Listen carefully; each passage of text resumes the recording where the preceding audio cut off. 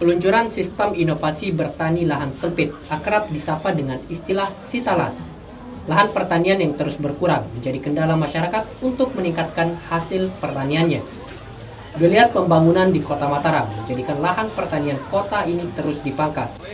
Pemerintah Kota Mataram memprediksi lahan pertanian di Kota Mataram yang masih tersisa kini hanya 142 hektar saja atau sama dengan hanya tersisa 33 persen dari lahan pertanian produktif sebelumnya.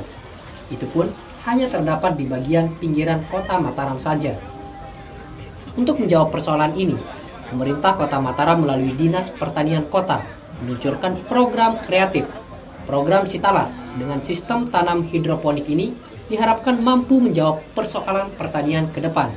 Kepala Dinas Pertanian Kota Mataram Haji Mutawali menyatakan kesiapannya memfasilitasi masyarakat mengembangkan teknologi pertanian.